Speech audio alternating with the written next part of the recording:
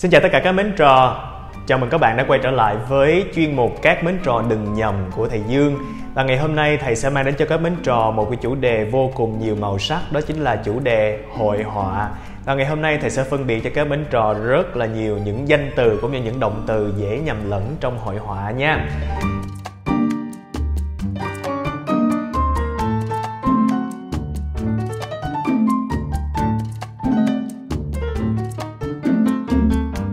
Đầu tiên thầy có từ picture. Picture là một bức tranh người ta vẽ nha các bạn. Hãy phân biệt nó với chữ photograph. Photograph có nghĩa là một bức ảnh người ta chụp. Photograph cũng là một động từ ý nói là chụp hình ai đó.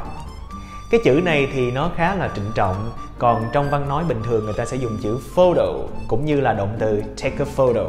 Thậm chí trong văn nói người ta còn dùng cái chữ take a picture để chỉ ý là chụp hình nữa các bạn. Mặc dù rằng á là cái chữ picture thì bản chất của nó là một bức tranh chứ không phải là một bức hình.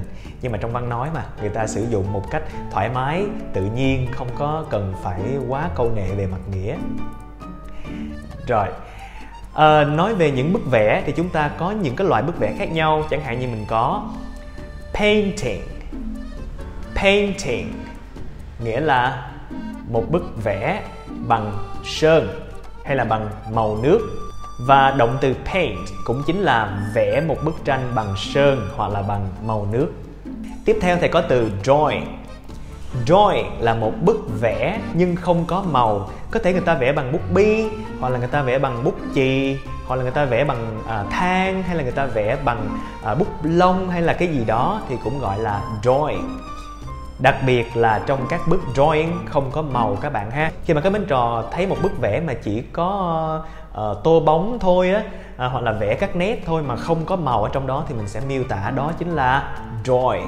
Và động từ draw cũng chính là vẽ những cái đường nét và không có màu sắc ở đó. Tiếp theo thầy có từ sketching. Sketching là một bức ký họa và chữ sketch cũng có nghĩa là ký họa, tức là vẽ rất là nhanh, vẽ phát rất là nhanh. Mình nhìn vô các bức vẽ này là mình có thể thấy được cái sự sống động của nó rồi, bởi vì người ta vẽ rất là nhanh, người ta phải vẽ liền để ghi lại cái khoảnh khắc nào đó, không thôi để lâu quá thì người ta quên. Vậy thì thầy có từ sketching là bức ký họa và sketch chính là ký họa. Tiếp theo thầy có từ portrait, hay còn đọc là portrait, là một bức chân dung thì cái bức này uh, có thể là chụp cũng được hay là có thể là vẽ hay là ký họa hay là sơn tô gì đó đều được. Nhưng cái bức này sẽ mô tả một người. À gọi là chân dung mà đúng không?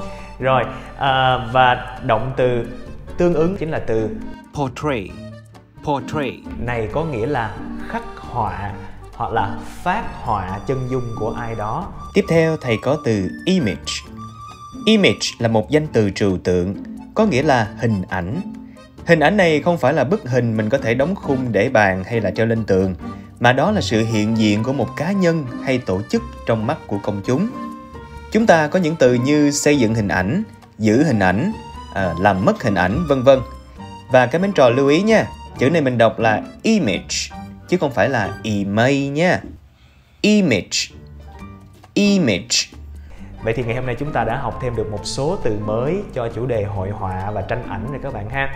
Và đó chính là nội dung của buổi chia sẻ các mến trò đừng nhầm ngày hôm nay. Nếu các bạn muốn thầy phân biệt những cái gì nữa thì các bạn cứ hãy comment bên dưới nha. Và hẹn gặp lại các bạn vào chuyên mục các mến trò đừng nhầm vào tuần sau. Bye bye.